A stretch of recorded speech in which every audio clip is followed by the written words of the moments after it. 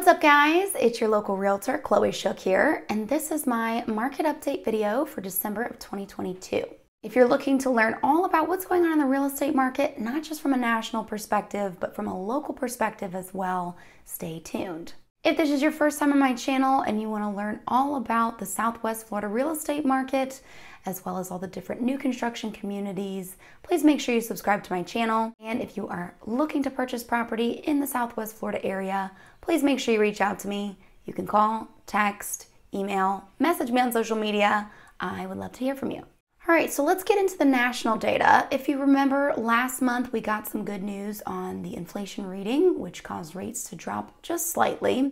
The same thing happened again this month. We got more good news. So That's two months in a row now. So I would anticipate rates to continue to drop slowly as we head into 2023. Now, just to clarify, these minor fluctuations in rates are not due to anything that the Fed is doing to lower rates. These are just minor fluctuations based on different lenders' perspective on the market. Now, there are several different categories that make up the Consumer Price Index, and one of them, of course, being housing, specifically rents.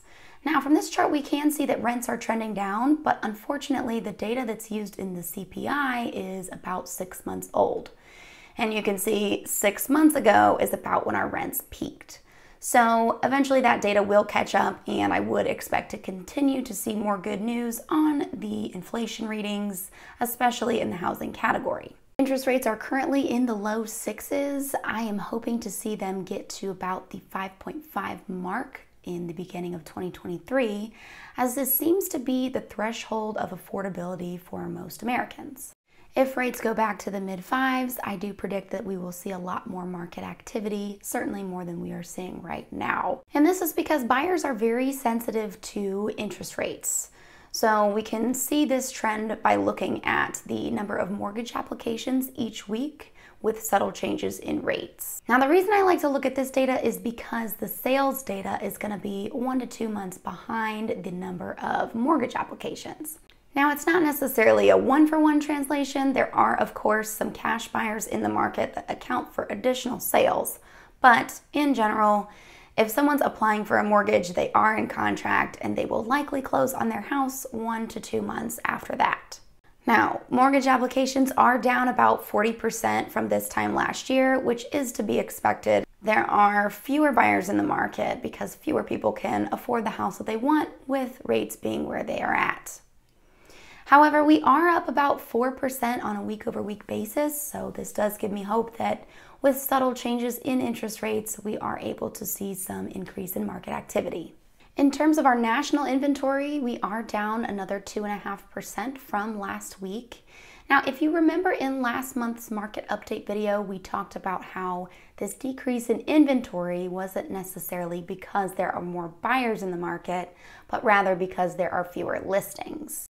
However, if we look at the number of new listings on a weekly basis, you'll see that this most recent week on the chart we had an increase.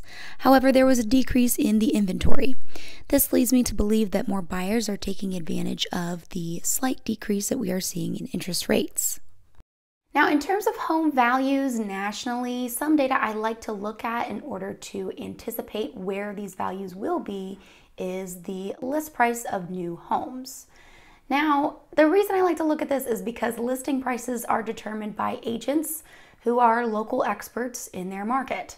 If they listed a home in the same neighborhood last week and sat at the open house and nobody came through, all of that data kind of goes into them deciding what the list price of that next listing will be.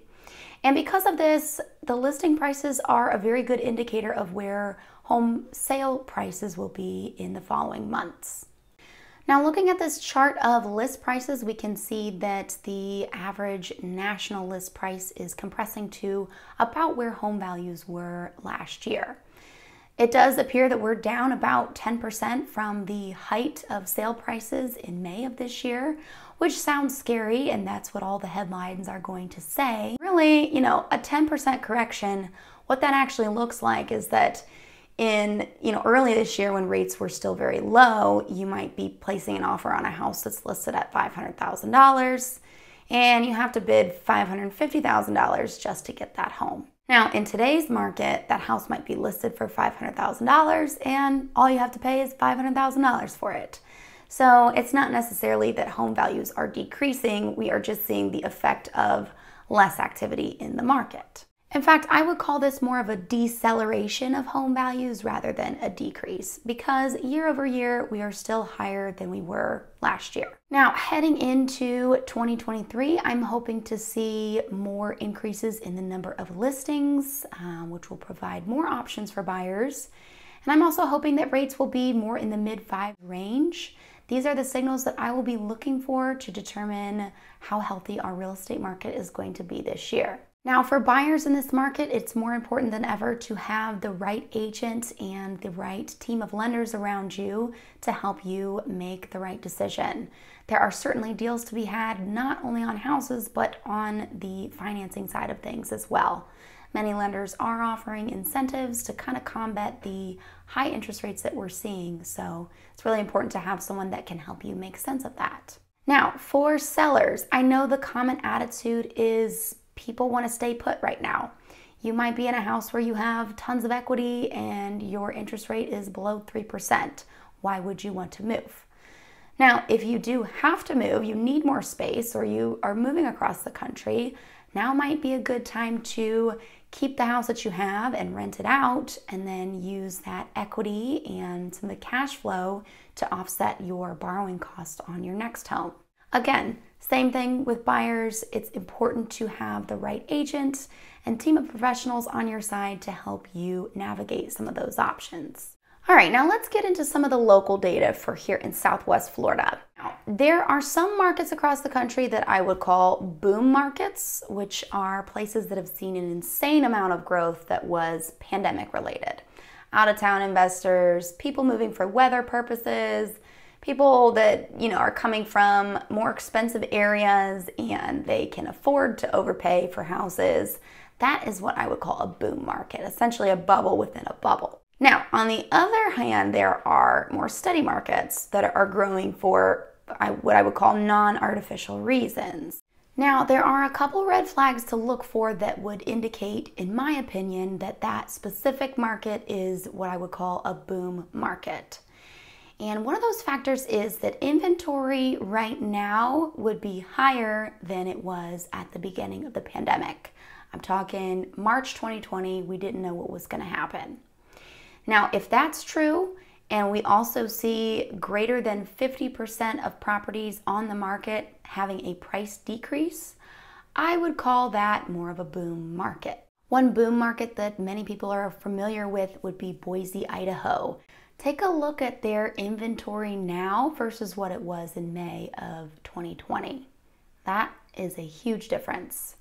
It's much higher now than it was then. Boise also has about 61% of properties on the market having a price decrease. So now let's compare that to Naples. Now here in Naples, we have about half of the inventory that we had at the start of the pandemic.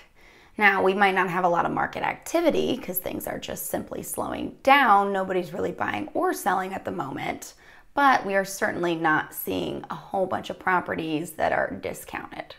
You can see here that only about 36% of properties in Naples have a price decrease at the moment. Now, since many people that are buying property in Naples, it's a second home for them, they're likely not going to sell that property at a significant loss. However, we are seeing a lot of price decreases in the new construction segment of the market. Now, this is because businesses like builders, they can't afford to just not sell their homes. They are much more price sensitive.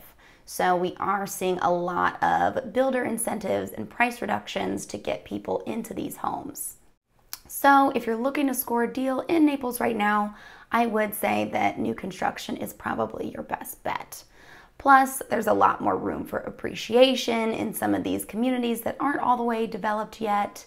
And your insurance costs are going to be much lower because a lot of these communities are not right on the water. That's what's going on in the national and local real estate market. If you are looking to purchase property in the Southwest Florida area, please make sure you reach out to me. You can call, text, email, message me on social media. I would love to hear from you. If you'd like to get a notification next time I post a market update, be sure to subscribe to my channel and tap the notification bell. Thank you so much for watching this video, and I hope to see you in the next one.